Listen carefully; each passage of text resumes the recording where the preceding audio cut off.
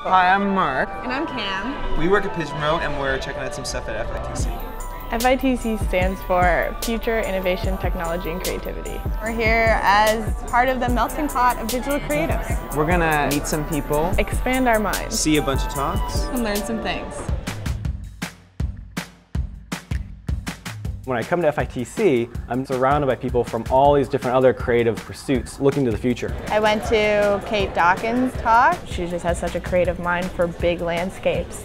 I've met some of my heroes, but I've also made some amazing friends, and that's not just some of the other speakers, but that's actually people who attend. Who here likes lasers? This is set up for networking, like it's designed for people to meet each other and to meet the speakers. We really like the community and conversations that arise. All the interactive displays were a lot of fun. We, we tried glasses. the smart glasses. When you put the glasses on, you can see notifications. I like them. I like them too. And the games are really cool too. It's kind of cute.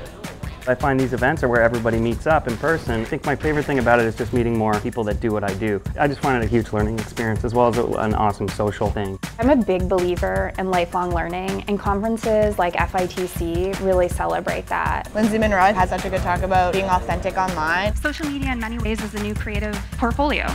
We can never be satisfied with the now. We are constantly chasing the next. I love coming to FITC because there's so many disparate people from disparate places talking about disparate things. You have this greater opportunity to find the friction between ideas that cause sparks to inspire people. I want to get inspired too.